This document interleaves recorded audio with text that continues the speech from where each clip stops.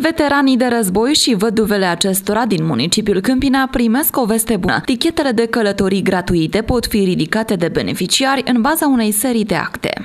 Legitimația de veteran de război sau de văduvă de veteran de război, uh, carnetul, uh, pe baza căreia să dau foile, uh, cuponul de indemnizație de veteran, deci nu cel de pensie, da?